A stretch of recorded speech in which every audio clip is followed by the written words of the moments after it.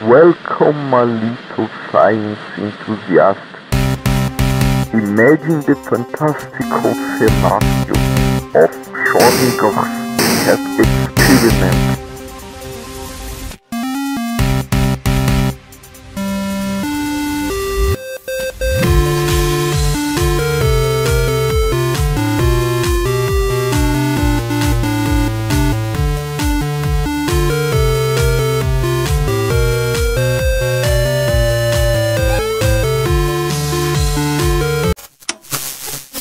So embrace the madness, my little one, as we venture into the quantum circles of uncertainty.